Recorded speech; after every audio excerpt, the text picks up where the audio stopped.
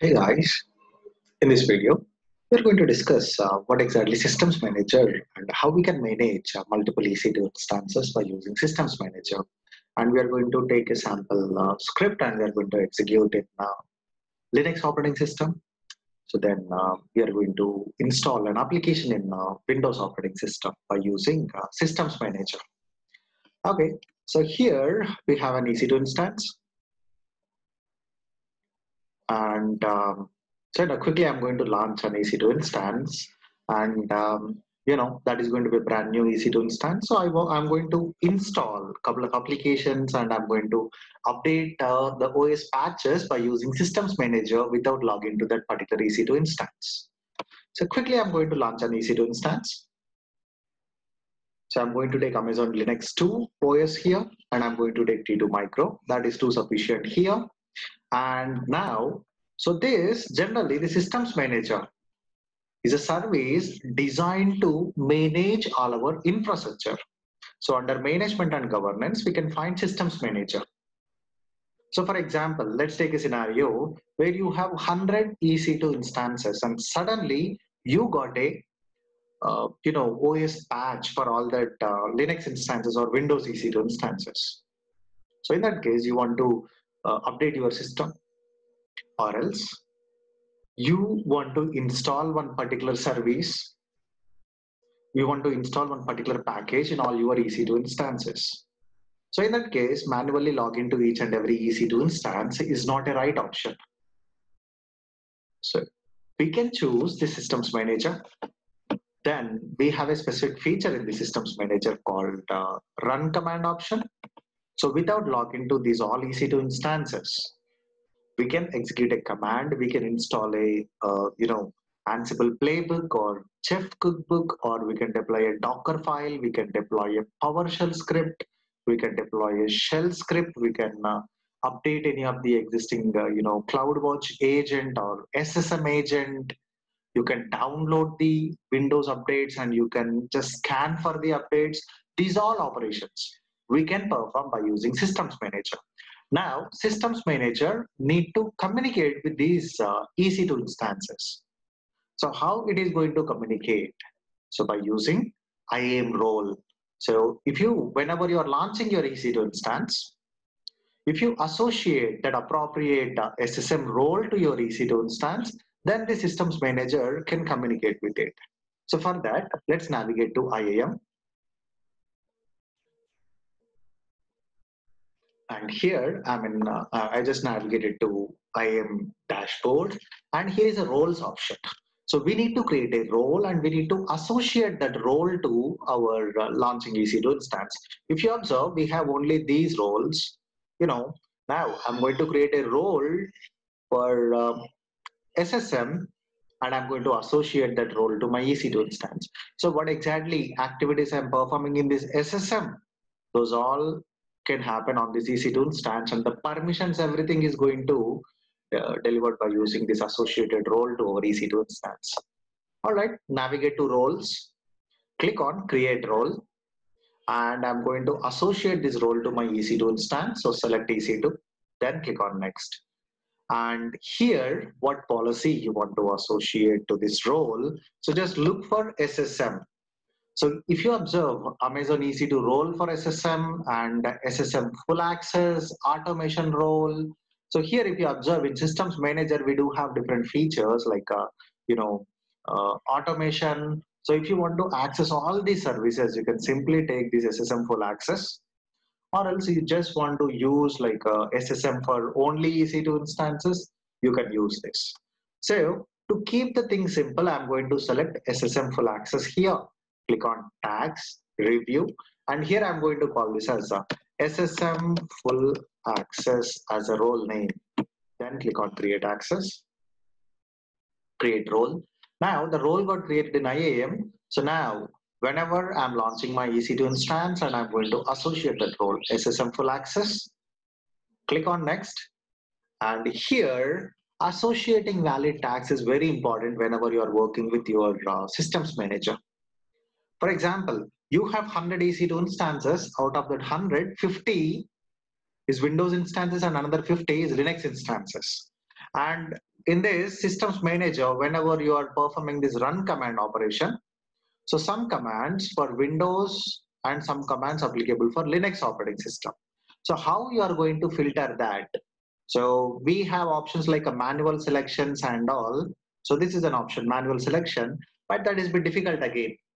So we can use a specific instant tags. So I'm going to give a tag name SSM demo, but I'm going to use a particular tag called task is equal to SSM test. Or like you can give some sensible you know tags. This os is linux. So you can choose any of this particular tag. That means combination of key and value pair then you can filter all the ec2 instances here so i'm going to use this where uh, os is equal to linux then click on next and here configure the security group and i'm going to choose an existing security group so which is open with port number 80 and uh, Let's click on review and click on launch. I'm going to use an existing key pair. Now, one EC2 instance is launched and that is a Linux EC2 instance. So by using the systems manager, I'm going to make this machine as a web server. Again, let me quickly verify. So whether port number is 80 is open or not, but it is open with a particular uh, uh, you know, particular IP address, I'm going to modify that. I'm going to make it every open for everyone. So HTTP is for anywhere, click on save rules. All right. So now this is my EC2 instance and here is my public IP address. Before executing this, I just want to take a minute and I want to show there is no website is delivering from this uh, EC2 instance. By using Systems Manager, I'm going to make it as a web server without logging to this EC2 instance. All right, now let's jump to Systems Manager. And here in Systems Manager, scroll down here, under instances and nodes, you can find run command. Click on run command option. And here is a run command. Click this. And these all are the run command supportable operations we can perform on our all EC2 instances. So you can filter by using operating system also.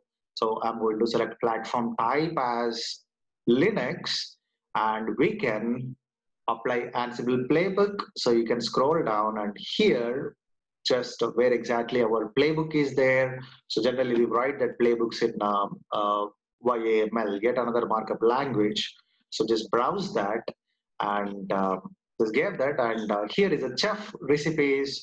So uh, if you want to deploy a chef cookbook, you can just navigate here and you can get that uh, all the information. You can browse a cookbook from your S3 bucket. Exactly same way, we can perform all these operations without logging to our EC2 instance.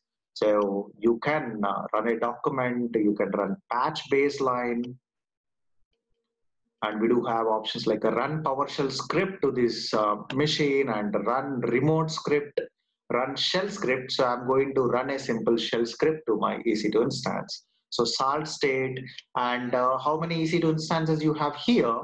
Uh, for example, that SSM agent is outdated. So if you want to update, you can use this. And this is supports Windows as well as Linux platform. So now, as I mentioned, I'm going to choose run shell script option. Then scroll down and here, what are the commands you want to execute? So I'm going to give very simple commands. So I want to make this EC2 instance as a simple web server. So at moment, there is no output and all. So then I'm going to give shebang slash bin slash bash. Then first I want to update my machine with latest patches.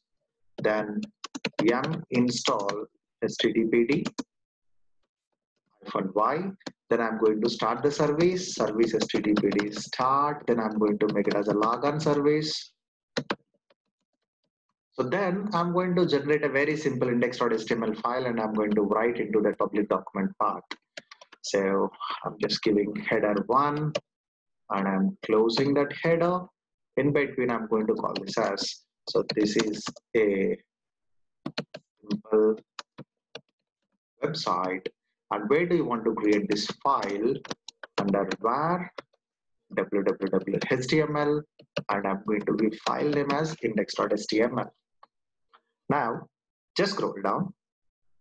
And here, if you want to give any specific working directory on our EC2 instances, you can give that particular uh, uh, path. And um, so the time uh, you want to give to execute all these commands and all, the default duration is one hour and maximum, it can take up to only 48 hours. So now here you observe specify instances by using tags. So if we have 100 EC2 instances here, and if you want to filter all Linux instances, you can give OS as a Linux, the one we have given here, the particular tag. So how many EC2 instances have this particular tag? So those all EC2 instances will automatically comes and it is going to execute with these given commands. Or else if you don't want to go with the instance tags, you can choose instances manually. I've selected this choose instance manually and here you observe how many EC2 instances you have in this region with appropriate uh, uh, SSM agent. So those all instances going to listed here. So this is my EC2 instance and instance state is in running state and ping that is online and SSM agent version is 2.3 then some 714.0 and platform is Linux. And we do have a concept called resource groups. Like uh, you can uh, you can filter all the instances by using a tag, and you can create it as a resource group. Then you can get that. So let's scroll down. If you want to give any uh, comments or other parameters, you can get this. And rate control at a time how many EC2 instances you want to execute with this command and all. You can get that rate control. And when do you want to stop executing this task? So for example, you got uh, 10 errors or you want you got one error, you want to stop this execution process, you can give all those values here. And whatever the output you are going to get here while installing this, uh, you know, commands and all, that output, if you want to store into an S3 bucket, you can get that. So choose a bucket name from this particular list. So just go here, choose an S3 bucket, and within that, do we have any particular folder and all, you can get that or else we can write this output to CloudWatch uh, logs also. You can, if you have any log group, you can just go there and you can pick the required log group and it is going to write that output. If you really don't require any output, you can simply uncheck this. It is not going to write any output. And when if you want to get any notifications, you can enable SNS uh, topic and you can get notifications. And the same thing if you want to execute by using CLI, you can use this CLI command. Now, click on run. What are all the commands I have given there? Those all commands are going to execute in this particular EC2 instance. And uh, you can observe here, it is showing status as a success and where that output is stored. So I have redirected that output to an S3 bucket. So, you know, it's just showing some uh, output here, but it, it got truncated uh, after 2500 characters. So let's go to Amazon S3 so then it is going to show you, uh, you know, where is that output and all. So it shows this this particular bucket and all. So let's go to our SSM and uh, just observe the status. It is success. So as it is showing success, when I navigate here, when I give a quick refresh, I'm able to get that website. Okay.